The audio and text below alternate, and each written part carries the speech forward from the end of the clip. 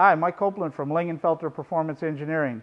I'm standing here now in front of the Craftsman uh, diesel power uh, dually. Just got this one back from Graphics. Uh, they did a great job. They have the hot rod uh, Craftsman truck right now over there putting graphics on it. So uh, we're really looking forward to getting that one back and seeing how it comes out. Uh, after we got the graphics done on this truck, we went to work on the exhaust. Uh, in this truck and the other one both, we used systems from MBRP. They're a great system. They fit exceptionally well. After we finished that, we went to work on the differential covers and the transmission pan.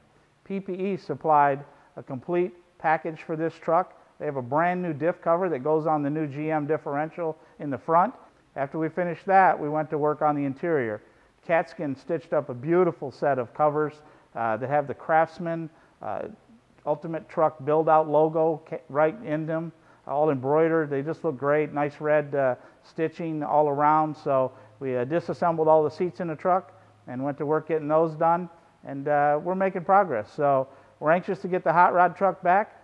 Uh, I got the Lingenfelter guys all working overtime to get these things wrapped up. see us at SEMA.